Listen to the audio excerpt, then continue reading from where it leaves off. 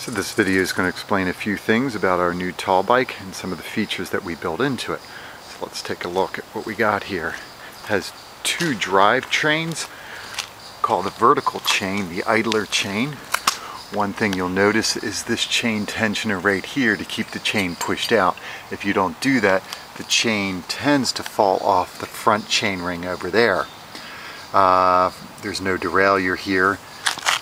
Kept the shifter from the original bike, but you can't use these uh, larger cogs on the back because it causes the chain to cross and it causes interference between these two chains.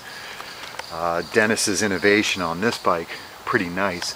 We drilled a hole in the handlebar stem, ran the axle through it, well, cut the hub, ran the axle through it and pinched it all together. That worked out really well. As you can see, we used on the upper frame, we used about a 17 inch frame, and the lower frame looks like it's around a 23. The one problem with that is the cockpit on the upper bike is very small for a tall person like myself. So we had to use a, uh, the seat post is extended out all the way, and what we've yet to do is put a set of riser bars on it, and we'll take care of that at some point later. Let's go out and take it for a spin.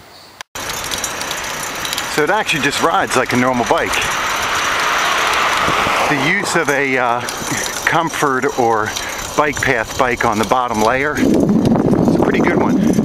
Very stable geometry. When you stop at stop signs, it's a really good idea to find something very tall to stand on. This is something you gotta see. You're dominating traffic. See, you look down on the roofs of cars